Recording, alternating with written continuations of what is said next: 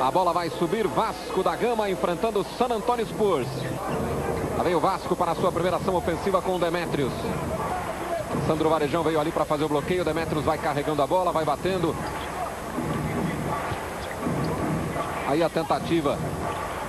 Recebeu ali o Rogério, passou Demetrios, fez a fita, foi para o arremesso e a primeira cesta do time do Vasco empatando o jogo. Demetrios trabalhou bem no ataque o time do Vasco da Gama. Faltando 11 minutos e 18 segundos. Posse de bola é o Demetrios. Vai trazendo ali por dentro, foi para a bandeja, a bola toca no ar e a cesta do Vasco.